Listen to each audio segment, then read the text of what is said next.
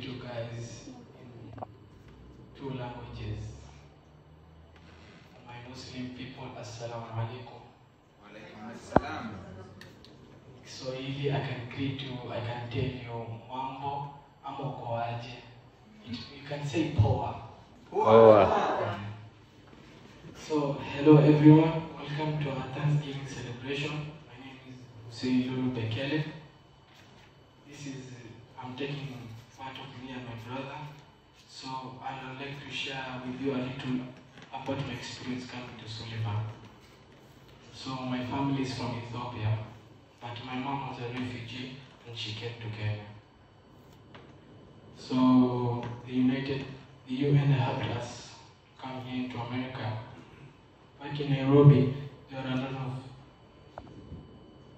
um, bad things. So it was not like safe. So in my culture, in our tradition, we drink coffee together every day.